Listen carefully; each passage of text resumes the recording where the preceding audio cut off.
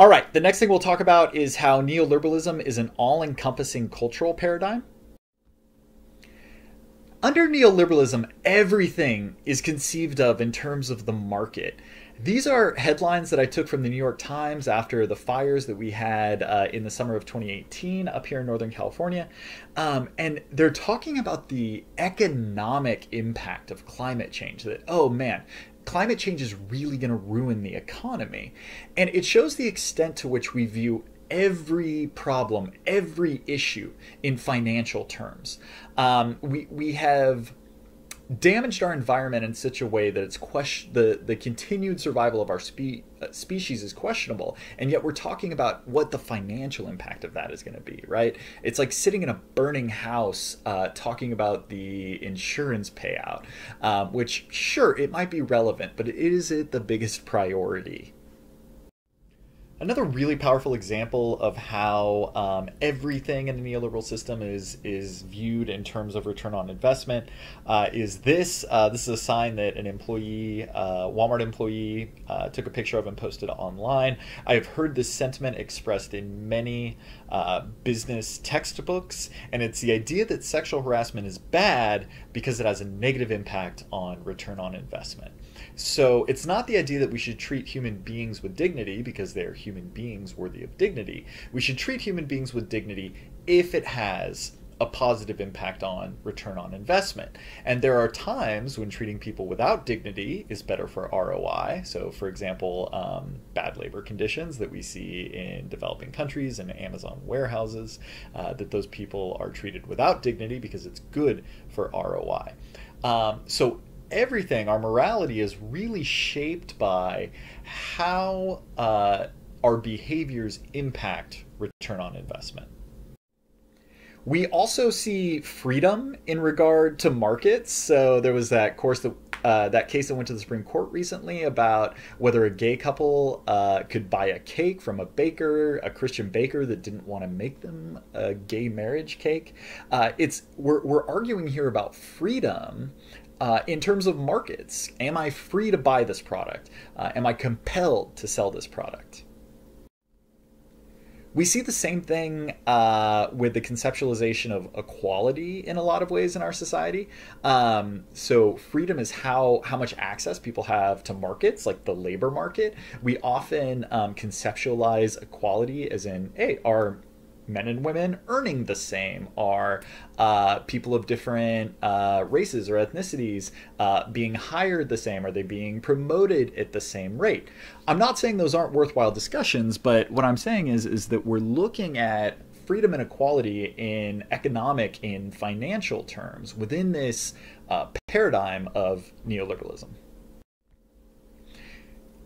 in our society, money is equated with speech, right? That everything, even freedom of speech, which I think most people would consider, you know, one of the most fundamental uh, human rights, is it's a part of the market. That it's money is uh, money is is speech, and the more money you have, the more freedom of speech that you have.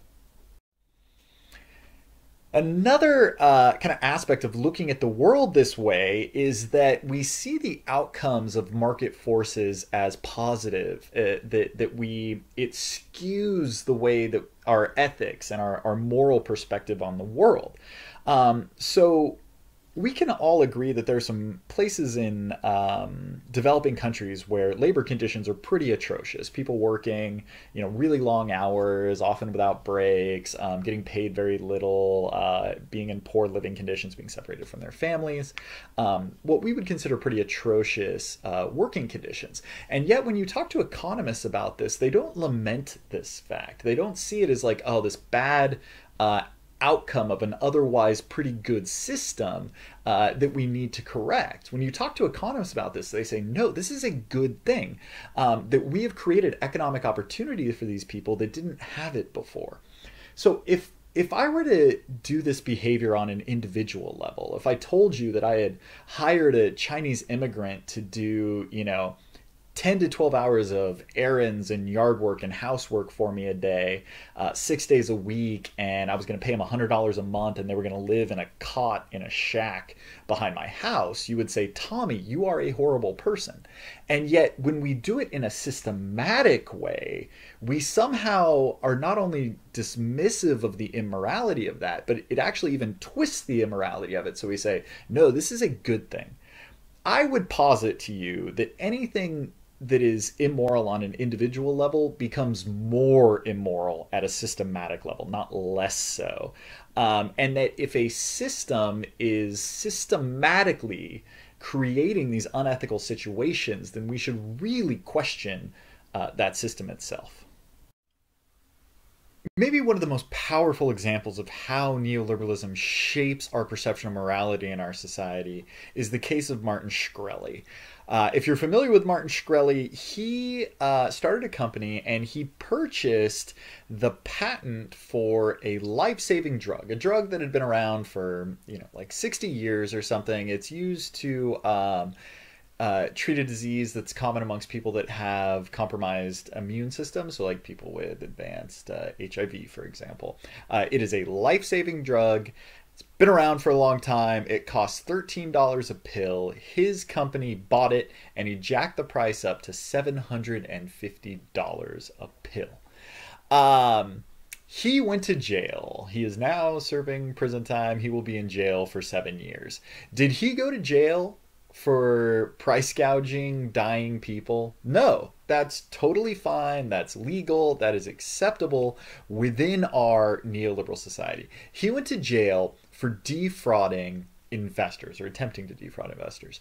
Um, and I, I, think there's no clear example of the values that we have in our economic system where price gouging dying people for a profit that is okay. And in fact you'll be rewarded for that through uh, you know bonuses and executive compensation.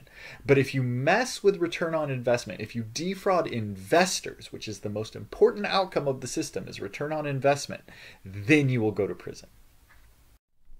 The all encompassingness of neoliberalism and the way it's it, it skews or shapes the way we see almost every issue um, in our lives uh, has caused some people to say that you know neoliberalism is a it's a force of nature that we can't do anything about it. It's just a natural law like gravity.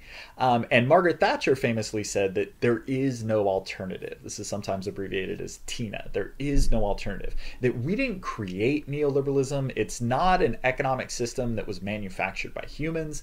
It's just the natural way that markets function. And we, we couldn't change it even if we tried. It would be like trying to change uh, gravity or the speed of sound. That um, it, it's just a natural law, and all we can do is get out of the way and let it happen. And the more we get out of the way, the better it'll be for everyone. A very similar argument uh, along those lines is that we, we can't do anything about neo, neoliberalism because uh, competition and capitalism that's just human nature humans uh, by their very nature are competitive they're selfish they're egotistical now, I would very strongly challenge that. Um, I think that if you look at the most important relationships in your life, the relationship that you have with your significant other or your children or uh, your siblings, your parents, your closest friends, um, even even your coworkers, I would argue, uh, those relationships are probably not defined by competitiveness and selfishness and egotism. Um, that in fact, we treat the people closest to us with um, generosity, we collaborate with them, we're, we're selfless with them, or at least we try very hard to be. Um, now, I'm certainly not arguing that selfless generosity is human nature either. Um, both of both both collaboration and competition are aspects of human nature. We are capable of both of those things as a species. If you put us into a system that encourages and rewards competition, we will behave in a competitive way. If you put us into a system that encourages and rewards collaboration, we'll behave in a collaborative way. Um, so I, I, agree that competition is an aspect of human nature, but to say, oh, humans behave really competitively when we put them into a competitive system, therefore there is no other way. We cannot build any other type of system. I would really challenge that preconception.